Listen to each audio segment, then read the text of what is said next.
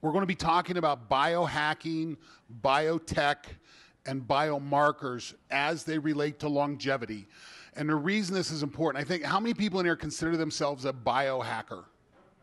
I've the whole room, right?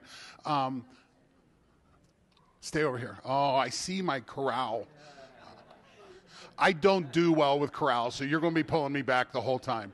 Um, so the challenge is when we start talking about biohacking things like that, we get it. Okay, we've talked about it, we know it's important, but a lot of times we have to have a story to bring others along with us. And I hope by the end of this, you have this story that you need to bring others along. Now, when we start looking at biohacking, I think it's important to look at other animals and animal models. And what we see, if we take a look at an orca in captivity or an orca in a wild, what do you see as the big difference between those two? Anybody? Well, phen- uh, phenotypically, what do you see a difference as? Oh, the, the dorsal fin. See, look at the dorsal fin on uh, an orca in the wild. So there's not enough environmental force on that orca's dorsal fin for it to express its DNA when you put it in an aquarium.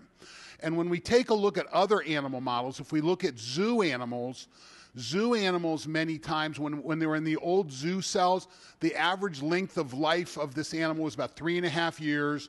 They were neurotic. They had digestive problems much like your neighbor. Um, but the question i have for you is which side of the aquarium do you live on? And this is an important part as we take a look at this. One of our challenges is we have we evolved, our DNA evolved to adapt. That's what gave Homo sapiens the ability to, to progress past Neanderthals and, and, and begin to populate their DNA.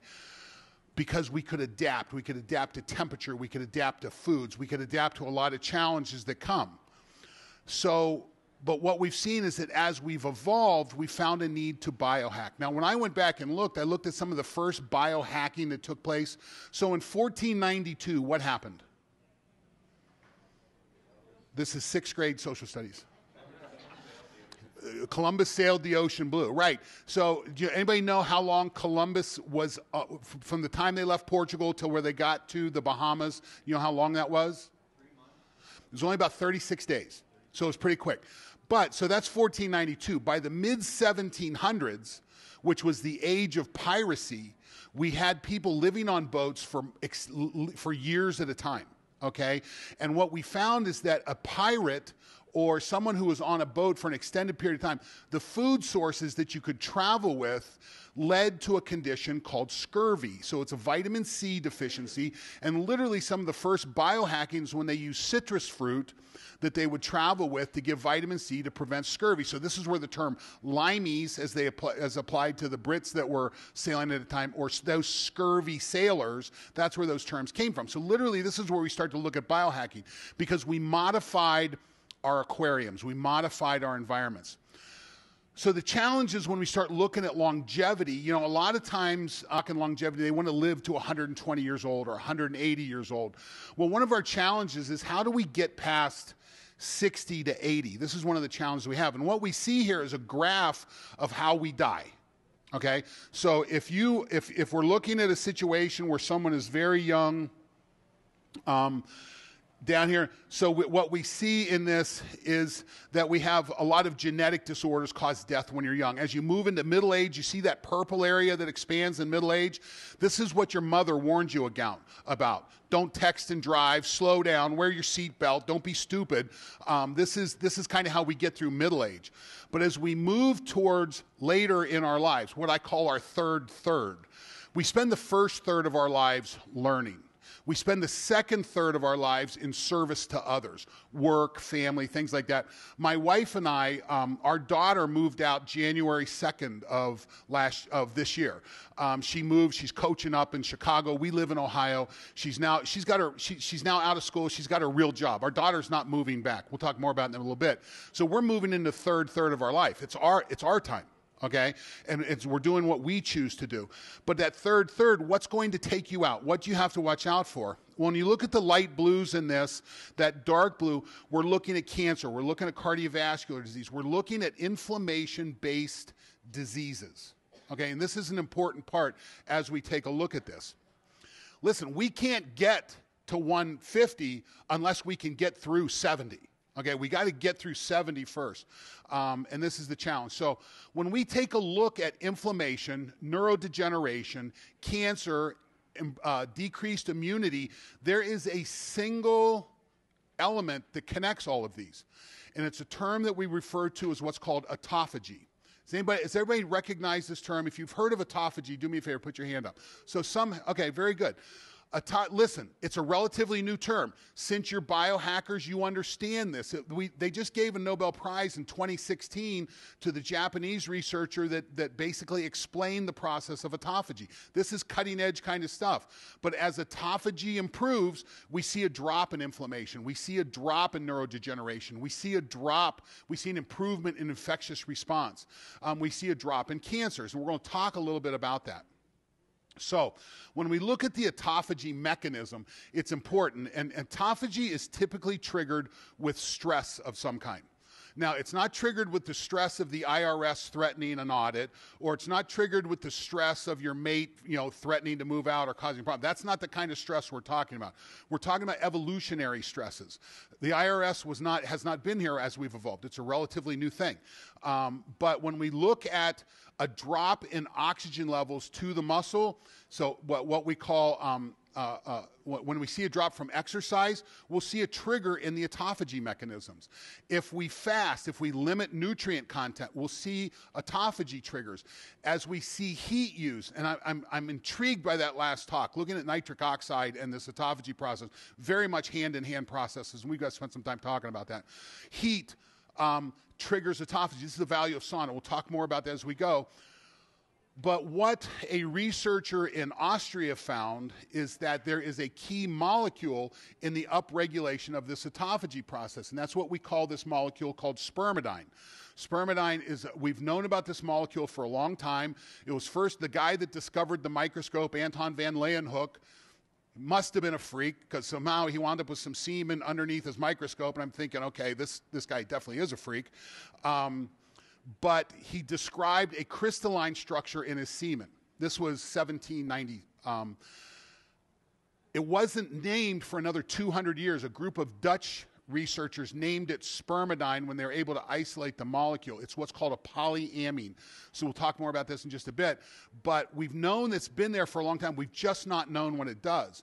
In the 80s, they were looking at spermidine as it relates to cancer research. They didn't see a, rela- a causal relationship there. There's some correlational things that go on.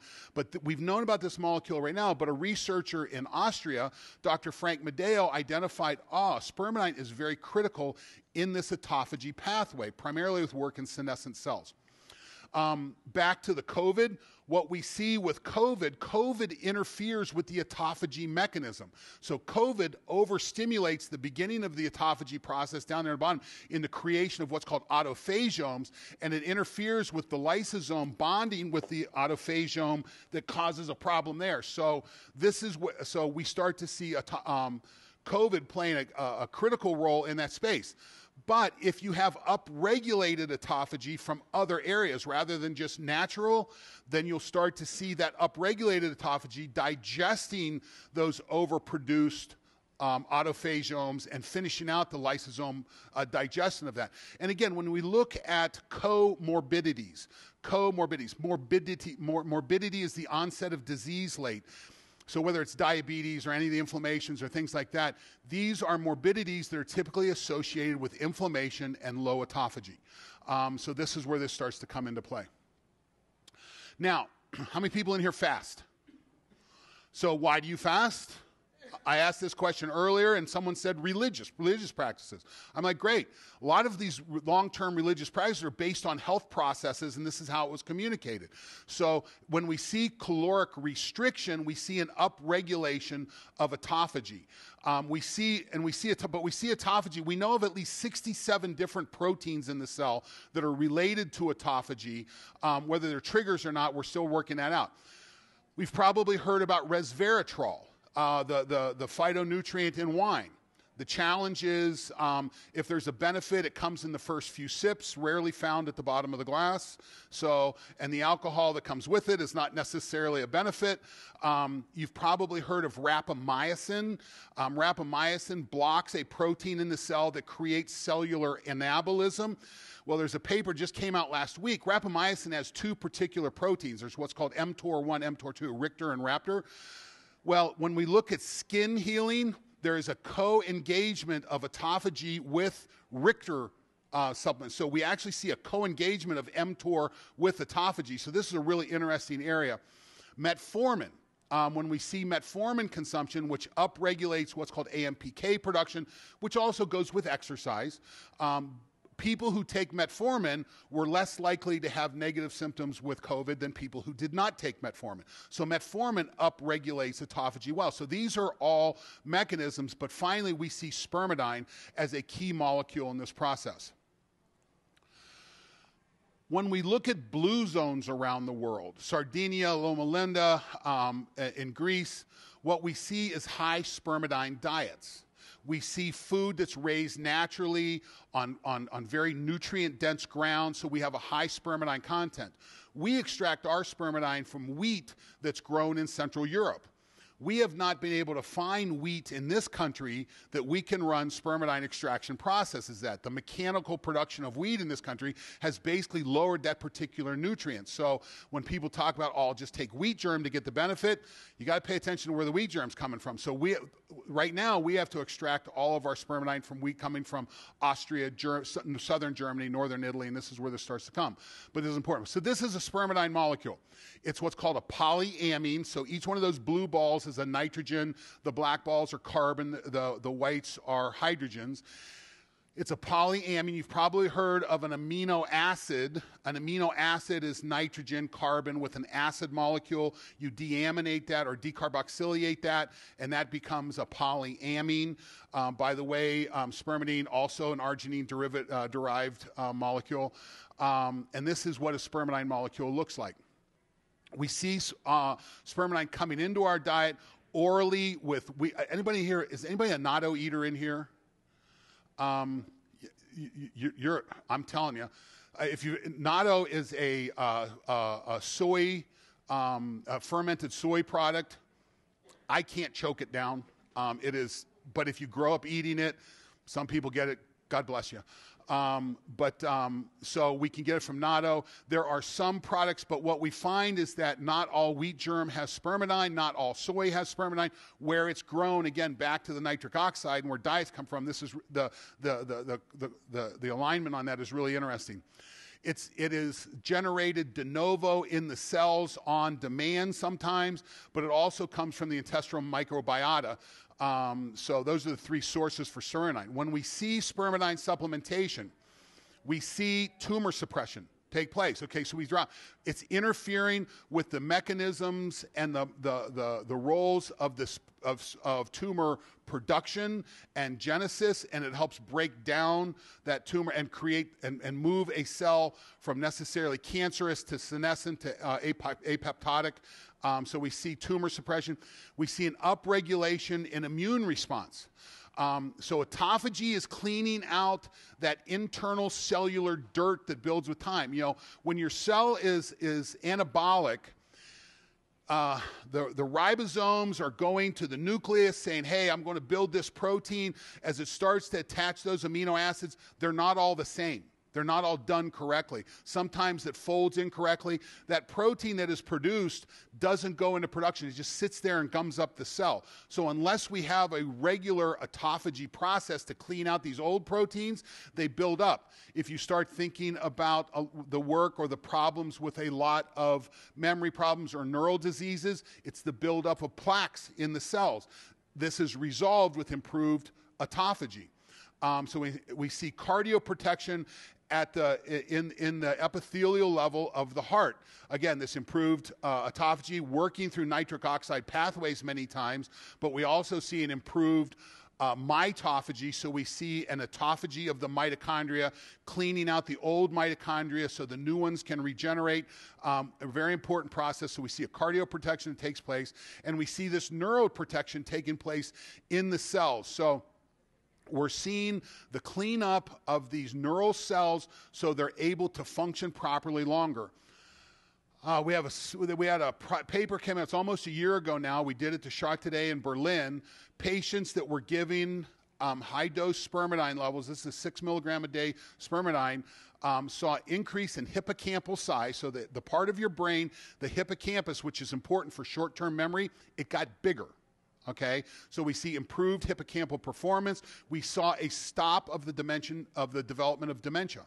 So gave it to patients, uh, all had dementia. Some got spermidine, some didn't. The ones that got spermidine stopped the dementia. The ones that didn't continued to decline. Um, so um, lot, this, this autophagy-driven process is very important. We also see an improvement in what's called epithelial stem cell production. So your skin cells are your epithelial cells. We've been talking about the lining of your gut or epithelial cells. Well, the stem cell production there increases when we talk to our customers who start using spermidine in three to five weeks, most of them talk about the fact that their nails start growing like crazy, their hair gets better. This is epithelial upregulation of epithelial stem cells. Um, beauty is more than skin deep. If you want beautiful skin, you've got to have healthy skin, and this is where a lot of this starts. So this and this, by the way, this all comes from a paper called um, "Spermidine in Health and Disease." It's in Cell. It's a review paper in Cell. If you have information, be happy to send it to you. Um, but when we start to look at spermidine, oop, I got a format problem I got to fix.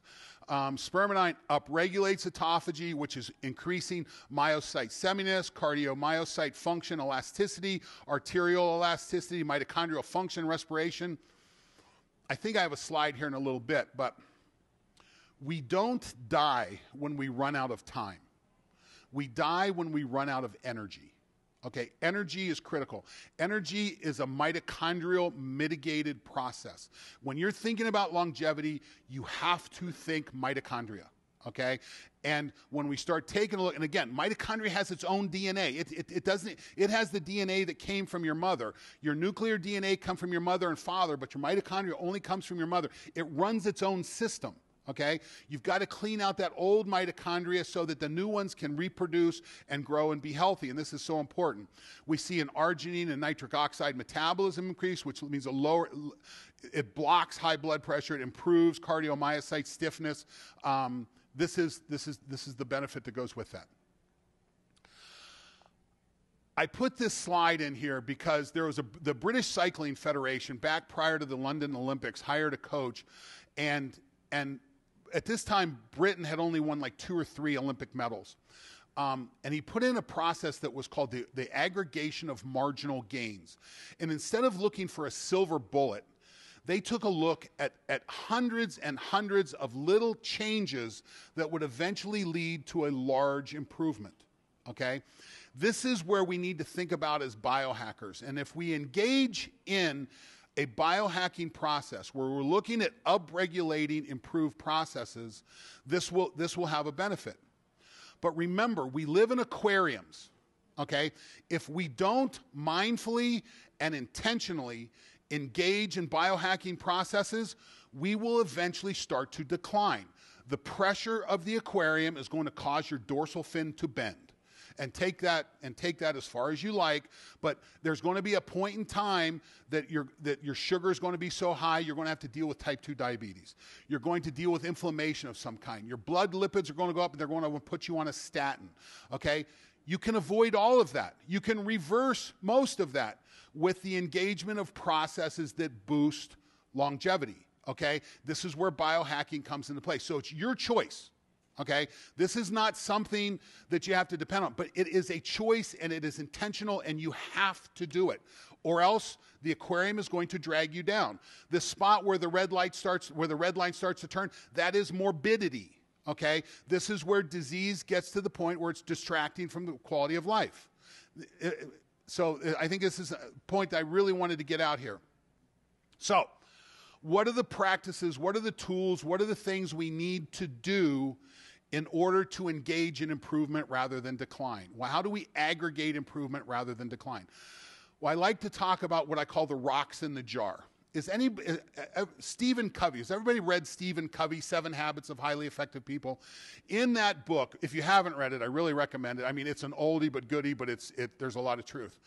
in that book, they talk about getting the rocks in the jar. And they have a speaker at the time, and I, I haven't done this yet, but puts a big old gallon jar on the stage and then takes a bunch of rocks, big rocks, and puts down and fills it up to the edge and asks the crowd, So, what do you think about the jar? And the cr- crowd says, Well, it's full. Well, then they take and put gravel in around the rocks, okay, and they fill that gravel in there. Then they put sand in the gravel, and then they put water. So at some point in time, you get all the pieces in. But the challenge is this if I put the gravel and the sand in the jar first, I don't get the big rocks in. So I want to talk about the big rocks of longevity and how that applies. It starts with movement, okay? The hack for movement is exercise. We live in aquariums. We do not have a choice. Listen, if you're Amish, you don't have to exercise. Okay?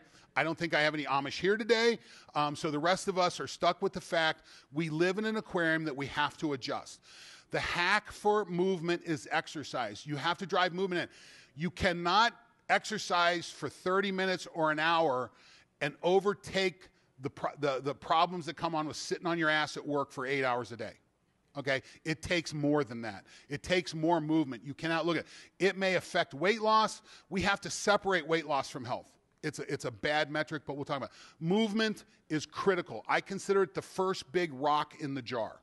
Um, when we look at the benefits of exercise, most people exercise to lose weight. Okay? Worst reason in the world to exercise. Anybody know what this first molecule is? Any geeks in here? We call it brain derived neurotrophic factor, BDNF. BDNF is a molecule that starts learning. It prepares nerves to connect to other nerves, and it's where learning begins. BDNF is a benefit of exercise. Kids in physical education programs that exercise are smarter than kids in school that don't exercise. Movement is critical because of the production of BDNF. By the way, we catalyze the learning experience with dopamine. Okay, so if someone's trying to learn, we get some movement, we learn the process, and then we lock it in with dopamine. We make them feel good about learning, it locks it in. Um, coaching from a negative standpoint does not produce dopamine. Okay, being able to pay attention to what goes on there is critical. Anybody recognize the second molecule? This is called anandamide. Anandamide is what's called an endocannabinoid. It's a molecule that is produced with exercise, endocannabinoid. If your body is dehydrated, what signal does it give you that it needs hydration? Thirst. It says thirsty, we get water. If your body needs nutrients, what signal does it give you to bring nutrients on board? Hunger. Yeah, thirst, hunger. What is anxiety? Anxiety is a signal to move, okay?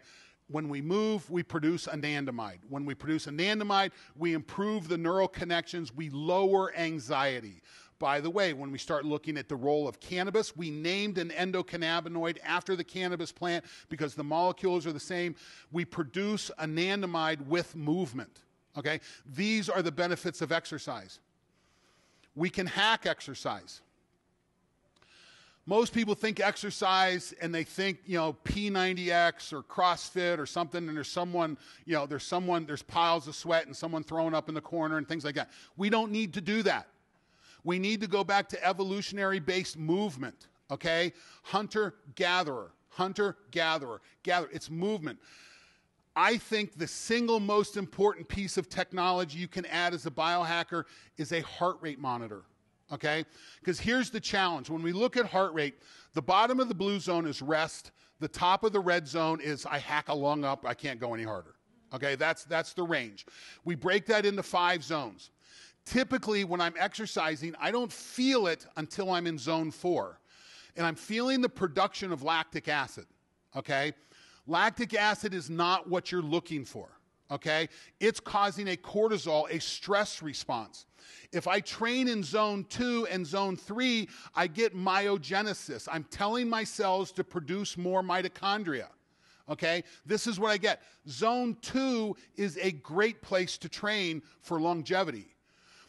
So, uh, in my past life, I was a sports scientist. I'm trained as an exercise physiologist, prior to moving into where I'm at now, I worked as a sports scientist at the Ohio State University working with the wrestling program. We moved the needle with a wrestling team doing cardiovascular training in zone three. Okay? You can't feel zone three. Okay, you feel zone four. I don't want my athletes there. I don't need that added stress. I get all the benefit in zone two, and as you get older, zone two is fine. If you want to compete, do some zone three. You get some enzymatic benefit there. It's a good place, but you can't see this and feel this unless you're monitoring. This is this is the technology that we use to combat the aquarium. Okay, giving ourselves that feedback, it's important. Uh, this is back to the zones. Heat is a hack, okay? People who sauna and exercise have better cardiovascular fitness than people who just exercise. There's some studies that show heat may produce the same cardiovascular benefit as exercise. I'm not ready to, I'm not ready to endorse that one, but I'm saying it's an interesting relationship. Heat is critical okay? Sauna when you take a look at cultures you know all religious all religious practices have fasting of some kind okay? Um, when you look at most cultures there's a heat element that goes with it. Particularly when you look at the nordic cultures it's still there. Native american cultures sweat lodges things like that. So heat has been a big part of the health maintenance and development of a lot of cultures. Sauna is important if you're looking at strength, there is a technology that I really recommend. that's called blood flow restriction. You'll notice that she has compression bands on her legs and her arms. She's doing exercise. What this is doing, this is causing an increase in signaling, nitric oxide signaling primarily, at a lower workload. So, someone who trains blood flow restricted uses half of the load that someone needs to get the signal that you need to improve. So training at half the load is a benefit. When you look at this athletically, you can train full on one day, come back the next day, do it blood flow restricted, get to double the signal without without the negative response, without the cortisol, without the torn tissue. Huge hack, huge benefit. If you're not blood flow restricting now, you're wasting energy. Okay, so that's movement. Let's move on. Food. Food is a big rock. Food is very controversial, tends to be more religious than it is sciencey for the most part. Um, you know, the DNA that we all walk around with was basically established, depending on the anthropologies, let's do 100,000 to a million years ago, okay? But certainly it's been diversifying ever since then. Without um, extinction, we don't have evolution, we only have diversity. So it's realistic to think that people in this room, one person maybe do better on a vegan diet and someone do better on a carnivore diet just because of the genetic diversity that evolves. You got to figure out what works for you. Your vegan may not work for the carnivore, your carnivore may not work for the vegan, and when you look at it, it's a bell curve, so there's probably a lot of wiggle room in the middle. The thing that we all can benefit from is less processed food. Okay? Eat real food. JERF, just eat real food. Um, this, is the pro- this is the challenge. But we live in an aquarium. Okay, it's easy to go through a drive-through. We tend to be stressed. We okay, we don't feed until it's too late. Um, figuring out, planning, recognizing you're an aquarium, make sure you have access, but then bringing on nutrients that the agricultural system is not providing. Okay, this is where things like spermidine and nitric oxide boosters, these things start to come into play. Supplementation winds up being important. Um, our aquariums are full of sugar, okay? This is our biggest challenge, okay? You walk into a CVS to get your diabetic drugs and you walk through four, you walk through four aisles of sugar, okay? And you know what? It's hard, okay? When you're stressed and you're tired and you're cognitively run out, sugar feels good, okay? There's nothing more important than getting the refined sugars and the refined flours and the refined carbohydrates out of the diet. It is hard. Okay, it is hard. There is a ton of pressure to eat poorly. Okay, they don't make this stuff because it tastes bad. Okay, it good when it hits your tongue. You know, listen, I'm a huge coffee uh, advocate. I love coffee. Um, I drink my coffee with heavy cream. But uh, man, when I go into Starbucks now, you look about 90% of that menu, it is completely sugar driven. Okay? This is one of the challenges that we run into. Sugar in the aquarium has to be resolved. When people start talking about improving health. The recommendation is eat less. Okay, lower the kilocalorie intake, lower the calorie intake. So typically we think about this as lowering the number of calories a day. Someone try, tries to go from eating 2,500 calories a day to 1,200 calories a day. It's hard, it doesn't work, it's failed. Okay, we've done this long enough, it's a failure. Okay, but what we can do is that we can tighten up when we're eating the calories. The work done by walter Longo at USC with the fasting mimicking diet, if we you can eat crappy calories in a shorter period of time as long as you have long periods of time without eating, okay? And there's a health benefit. If you put good calories in that limited feeding window, it's a huge benefit, okay? So when someone decides that they want to improve their health and you say eat less, help them understand eat less time, not less calories. It's not the calories, it's the time. And this is where autophagy comes into play. Autophagy is really hard to measure. This is one of the things we're working on, trying to find a, a, a good measure. When we're measuring ketones in the blood, when you're digesting fats, it produces ketones, beta hydroxybutyrate, acetylacetate, and um, acetone. These can be measured in different ways. This is a breath analyzer. As your ketone level production goes up, your autophagy levels are going up, and this is a feedback mechanism that people can use to feel good about what they're doing. As you get ketone levels up and you're getting feeding in a period of time, this is a great piece of technology. I love this biotech, it's very good. So when we look at food, I saw Molly here a little bit ago. Um, I don't think she's here anymore, but um, sleep is critical. Okay, there she is. Sorry, she's behind the, she's behind the camera. Um, sleep is critical. Okay, you can't fix bad sleep, meaning that if you have bad sleep, everything that goes on is a challenge. You have to go after sleep first. It's critical. If you can only fix one thing, you know, walk a little bit, change your sugar intake, and really work on your sleep.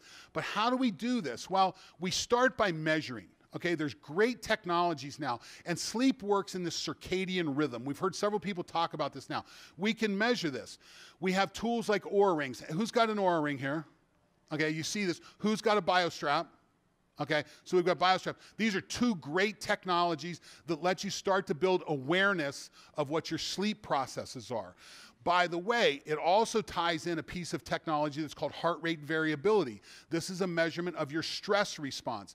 HRV is kind of like the speedometer on the dashboard of your car.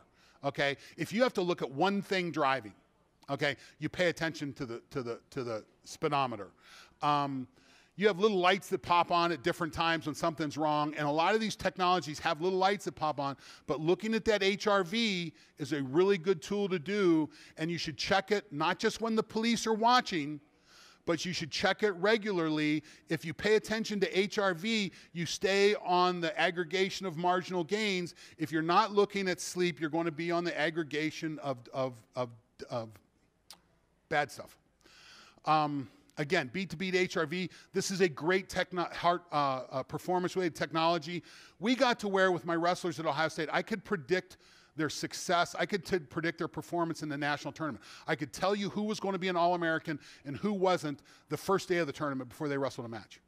Um, this is a powerful technology and it is a great tool looking at fitness and endurance, stress and recovery. I think this is a key technology to integrate into your game. Finally, light okay? The same way we have good food and bad food, the same way that we have good movement and bad movement, we can have good light and bad light. Okay? This is really important. We are light we are beings that evolve to work in the circadian process. This is critical. So, managing your light, there are great tools about this. The one is natural. You know what? One of the first things I try to do now, I'm, I live in Ohio right now, so I'm an East Coast guy out here on a West Coast time zone. It's, it's, it's challenging. And again, when you're on airplanes all the time, this can be a real one of the things I do absolutely. First thing in the morning is I want to get up and I want to see natural sunlight into my eyes so the pineal gland starts the circadian rhythm in the absence of light. Now, yesterday I, we had an hour. I went out and got real sunlight on my skin. Right now in Ohio, I live above the 40th parallel. You know what? We had a 60 degree day when I left the data shows that you need full body sunlight exposure for 40 minutes just for the vitamin D process. Okay? That's, that, that's naked outside for 40 minutes in the light. We don't do that in Ohio right now. I wasn't naked at the pool yesterday either, but I did have shorts on. But I went out and got a, I went out and got a chunk of light. I didn't get too much. I don't do, I don't do um, uh, um, sunscreen. I don't do sunscreen. I limit my sun exposure. Okay, if I feel like if I feel like I'm going to have to deal sunscreen, listen. If we're at the beach with my family in Florida, I'll sunscreen up so we can spend more time. When it's me and I'm doing a health process, I get out and get out. When melanin is working, your boy feels good. Okay, and so that is my indicator there. So light, but you can also use infrared, near infrared lights. These can be healing tools. Um, we've seen this happen in our family. When you start to look at managing light, those are what I call the four big rocks in the jar, all of which are mitochondrial driven. Okay, all of which are drilling in there, mitochondria, and we start to get that. But let's talk about the jar. The jar is your purpose, okay? There is a lot of pressure from the environment. It's hard to make these decisions. You know what? When you walk through CVS, the gummy bears look damn good. And when you try them, they taste good. Okay?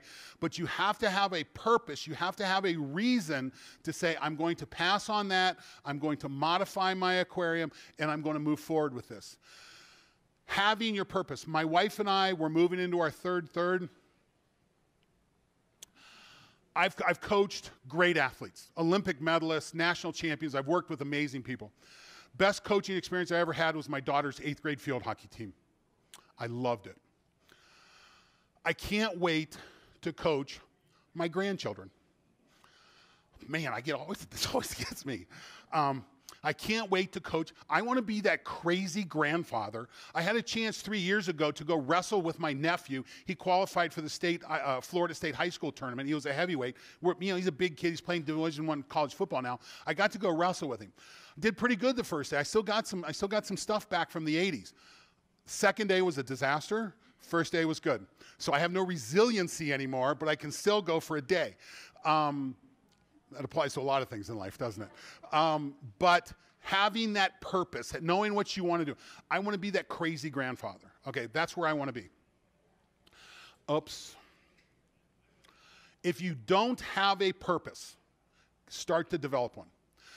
Steven Kotler is a friend of mine. I love this book. I've recommended it many times. They do a great job of going and figuring out who you are, what you want to do, where your future is going to be. Love Steven's book. If you're a biohacker and you haven't read Stealing Fire yet, uh, get it. It's a great biohacking book. It, anything that's flow related. This is Steven's thing. Uh, the Rise of Superman. Again, he, he's a great author. I love the work he does. So the question I have to you, how are you re-engineering your aquarium? So this is how we do it in my life. This is an example. This is my rec room in my house for the last 25 years. Um, we bought this house when my daughter was born. The house we had before that, we had the front, it was a turn of the century home and, and a historic, and I had weight equipment and strength equipment in, in the front room. Okay, so it, it's been important to us. I think I'll put strength equipment in a room rather than a dining, rather than a dining set that I use twice a year, I'll put strength equipment in okay? So we just sold this house. Literally, we closed Monday, we're moving. This is my next house. Oh, this is my office. Put a sauna in there, so I've got a sauna in my office. This is our next house. So we're going on the road. We're gonna go figure out where we wanna live next. The house we bought, the decision was based can I put a sauna in it? So it's got a room that I'm taking bunks out. I'm putting a sauna in our, in our room. We're taking the dinette out where, where the Peloton will go. I've got a strength system with kettlebells and so forth that we've got engineered in. We're engineering our environment. Okay? It's a conscious, mindful step forward. So to recap, we live in aquariums. We can't, we can't avoid that. Okay? It's, it's, it's the way it is. We have temperature systems that don't let us get too hot, don't let us get too cold. We need to get hot, we need to get cold. Um, autophagy is a key element. This is one of the key key critical for compressing morbidity and enabling good life into your 90s and 100s. If you don't get through there, you can't get to 120 and 150. Treat longevity like an investment. If you have a 401k, you should start investing in longevity. It's a key point that goes with that. There are key practices and molecules that are necessary for autophagy. You have to move. Movement is critical. Um, if you can't move regularly, if, if, if, if you can't go pick apples every day, then you've got to, you've got to hack your exercise. Um, nutrient dense food, unprocessed is a big step. Fix your sleep. Get on top of this. It's critical. Use light as a weapon. Okay, it's I, I kind of wanted to put like a Luke Skywalker thing in here, but um, but use light as a weapon. It is a key point that affects everything above that. Fix your and then find your purpose. As spermidine levels drop, autophagy drops. As you increase spermidine levels, uh, it increases autophagy, increases life. And thank you for your time. Do we have time for questions? Julia? Do I have time for questions? Any questions? We may not need it. Thank you again. Oh, wait, wait, to hear one. Uh, do you do the sauna every day? I do a sauna every day I can. Um, some days I miss it. Now, and again, I'm a little spoiled. I've got a hot. We have a hot tub at the house too. Um, so a lot of times I'll do my heat therapy in the hot tub rather than the sauna. But um, I sauna every time I get a chance. Is that uh, infrared or? No, my my sauna at home is Finnish. It's um, I bake at about 200 degrees, so I go in about 185, and I'm in for uh, 30 to 45. Remember, I'm an old wrestler. We used to wear plastics on a bike in a sauna. Um, you know, so heat is good. I'm transitioning to infrared in the motorhome, so that's going to be an interesting transition. I just, I'm not putting a Finnish. I'm not doing 200 degree motorhome. One more. Uh, yeah, like what if your purpose is your um, is a high level athlete, and then you're like in that four zone, right? So that's okay to be in there. If you're, you, you go into the four zone automatically. Okay, when you're competing as an athlete, when you're wrestling in practice, doing any technical, tactical stuff, you go zone four. That's part of the game. You don't need to feed zone four with homework. Do your homework, do the extra work in zone three. Okay, so again, you do all your technical, tactical stuff with your coach. You'll get zone four and five with that. Uh, do the zone three stuff to build the base. So too. Okay, you've got to learn to live there. You know, we used to do it. We had a we had a wrestling thing we did where um, I got a new training partner every two minutes for 60 minutes. We wrestled for an hour, had a fresh guy every two minutes. They rotated three guys. By the end of that, I was completely defensive. Okay, I had no offense left, but you have to learn to live in that space. We call it the dark place. Um, when you get to the dark place and you know you're there and you kind of grin, okay, then you get a competitive advantage. Um, so you do that technically, tactically. Don't do that with the adapted work. Thank you.